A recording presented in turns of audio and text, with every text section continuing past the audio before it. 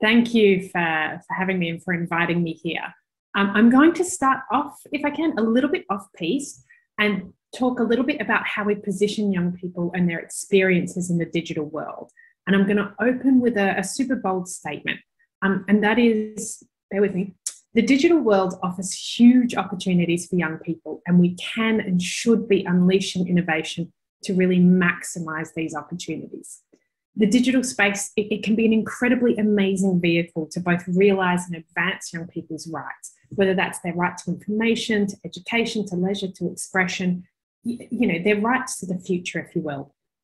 It offers this, like, I don't know what you call it, like a, a comprehensive vision of citizenship that the old you know, in real life world just, just hasn't been able to give them. Young people have for a long time been denizens of the sort of real world, politically disenfranchised and, and too often marginalized. And the digital world offers a chance to really challenge some of these practices that sees young people systemically left out.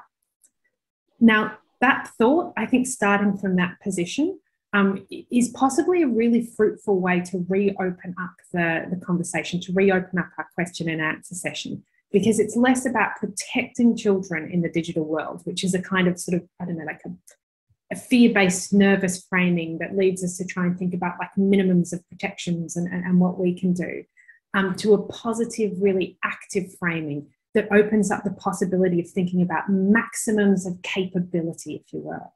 So Nishan opened up, you know, by talking about needing to move from what was it, I think it was like a cyber security framing to a sort of more comprehensive framework. I'm suggesting we go beyond that again and move beyond safety into a kind of um, children and young people as rights bearing citizens perspective. And this opens up a lot more space for young people's agencies. They aren't passive, you know, non player characters in this digital world um, that we're all running to try and save. They're agentic and can and should be active parts of making this new digital world. Um, and so they're not our children to protect, they're their own people. As Giselle described this, it's stakeholder preparation taken to its sort of logical end conclusion. Um, and when we start from there, the, the sort of task, I think, of, I don't know, of like realizing it advances young people's privacy and addressing the very real risks of social media becomes a slightly more involved, um, but definitely more exciting process. And the risks are real. I'm not sort of glossing over that in some sort of Pollyanna-ish, you know, tech utopianism. Um, I've been asked to sort of describe some of the risks that I've uncovered in micro experiments and research projects. Um, and I will talk about three of them. But what I want to do is reframe them a little bit and think about how seeing young people as non player characters in and of itself might have contributed to that risk and how flipping our vision might help prevent some of these risks in the first place.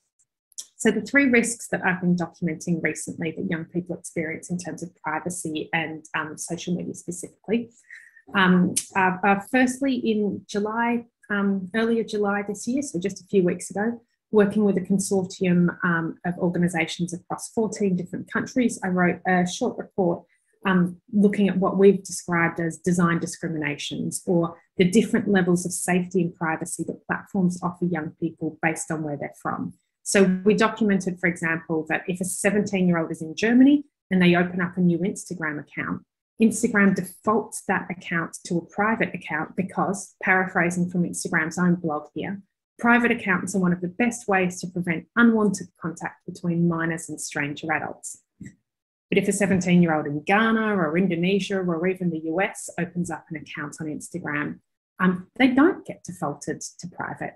They just get a little screen allowing them to choose between private or public. So, this choice of what happens, of what happens to 17 year olds' accounts, embodies a direct conflict between young people's best interests which are better served by private accounts that maximize both privacy and safety, and commercial interests, which are better served with public accounts that maximize engagement, if you will. And in some countries, platforms are choosing young people's best interests, while in other countries, those same platforms are prioritizing their commercial interests. It's Giselle's half swept stairs in actions. But where platforms are choosing young people's best interests, it's not by random. Design discriminations largely affect young people outside of Europe. because Europe's regulators have acted to demand these sort of minimums of protection. It's the stick, as Giselle put it. And let me be clear the stick works. Um, we've seen this as proof that the stick, more than anything else, drives up the protections that we've got. But why is it that young people elsewhere don't have their rights realised by these companies in the same way? I mean, sure, there's the kind of obvious one of, you know, the business model sucks. Um, corporate greed means that they'll put their best interests first. There's a kind of obvious one. Um, but at a more philosophical level, are what we're seeing, you know, is this the kind of inevitable consequence, if you will, of the game that we're playing, the game of young people's privacy and safety being played by these characters of advocates, lawmakers, regulators, big tech. And we're all gaming away to see what we can secure against our own set of priorities. What would happen if young people were agentic characters too? What if, you know, would Instagram or TikTok or WhatsApp have thought fundamentally differently about turning on or off features in a limited way based entirely on the demands of regional regulators? I guess what I'm asking is, you know, it's, it's a big it's a big question of, of how did we get here? How did we get to a place where publicly listed companies are choosing not to turn on privacy and safety enhancing features for African and Asian young people? Does young people's systemic long term lack of power, their lack of visibility, their lack of agency have anything to do with that?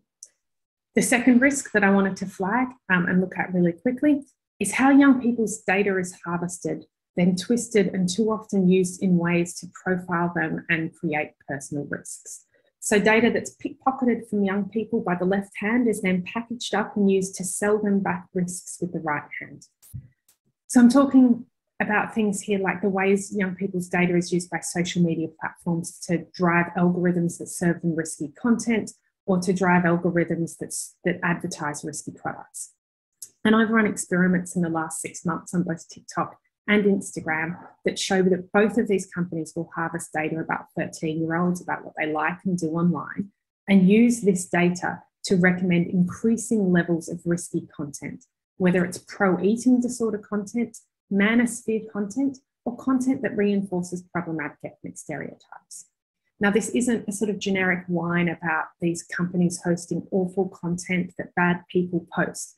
It's about these companies actively choosing to recommend this content to young people and doing so in ways that identifies and preys on their vulnerability to this awful content in the first place. And with exponential accuracy, whichever way you run these experiments, these companies will recommend increasingly increasing amounts of troubling content for kids to watch. So in one experiment, for example, that we undertook a couple of months ago, I looked at politically divisive content, think white supremacy content, QAnon content, that sort of content in Australia. We polled, we looked at how algorithms were feeding it, and we also polled young people to see how far it spread. And we found that over three quarters of 16 and 17 year olds in our poll had seen this content. And we asked where and how they'd seen it. We found that half of young people who had seen politically divisive content said they saw it because an algorithm said they should discover it. A further quarter said it said they saw it because they followed someone and an algorithm therefore placed it in their followers' feed. So this isn't about young people going looking for this sort of politically divisive content. It's about platforms' algorithms actively profiling young people as potentially interested in this sort of divisive, problematic content and serving it right up. In other contexts, we'd call this behavior grooming. And I'm going to quote Kelsey here, who's an amazing 17 year old advocate from California, who described what it was like to have an Instagram feed filled with eating disorder content. She said, I knew I couldn't rely on Instagram to send me the positive messages I needed. I had to actively try and change my social media feeds. I had to do the hard work. Without my consent, Instagram pushes me towards it, but I have to pull myself away from it. Again, how did we get here? Would it be different if young people were seen as key stakeholders and had to be heard, had to input into the discussions about how algorithms really should rank content? And thirdly, third risk I want to highlight really quickly, because I'm just going to back Ephraim in here when he talks about consent and terms and conditions. Um, again, while I think that consent is actually a really weak proposition to justify data collection, it is, as, as Ephraim noticed, the dominant legal and moral justification that we have.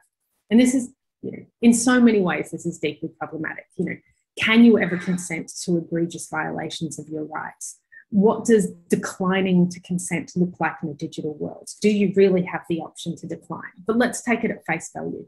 In a quick report I authored last year called Did We Really Consent to This? we looked at um, the policies that 10 different platforms offer young users. We found again, as Ephraim did, 90% of them required a tertiary degree to read. And um, one of them was just, one alone, one platforms was just shy as being as long as two high school novels as recommended by the Australian Department of Education. Unsurprisingly, when we polled young people again, only 4% of teenagers um, said they read the terms and conditions that they agreed to. So, can we really say that young people consented to this data collection and use? You know, when what they've consented to isn't even presented to them in a, in a way that would enable meaningful consent. Um, and no surprises here. Um, I, I, think that if we did flip the script a little bit and understand young people as agentic actors, as active stakeholders, um, no one will be drafting 47,000 words of terms and conditions for them to read. And that is the length of TikTok's terms and conditions. I'm not just making that number up. So I, I think, I mean, overall, I think that if young people were repositioned, if we did see young people as not as non player characters, but as active characters, as people who were engaged in designing and building this digital world, a lot of these sorts of risks would be mitigated. They simply wouldn't be designed in in the first place but it'd also go a long way to that more positive vision of reshaping the digital world in ways that unlocks and advances young people's rights in the first place. So I think what I'm calling for, I'm, I'm deeply aware that what I'm calling for is a fundamental big rethink. Um, but ultimately, I think that that is possibly the most powerful intervention and really the only way to reshape the digital world in a way that makes it genuinely work for everyone.